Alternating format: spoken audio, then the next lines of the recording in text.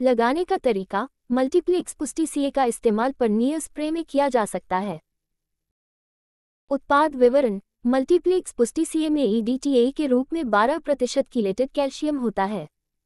Calcium पौधे के ऊतकों की संरचनात्मक और शारीरिक स्थिरता के लिए जिम्मेदार होता है और इसलिए पौधे की पत्तियों को हरा और स्वस्थ बनाता है।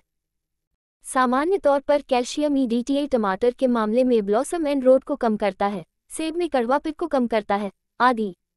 ये सभी फ़सलों में गुणवत्ता और उपज को बढ़ाता है। खुराक, स्प्रे के लिए मल्टीप्लेक्स पुष्टि सीए शून्य दशमलव पाँच ग्राम प्रति लीटर पानी का प्रयोग करें।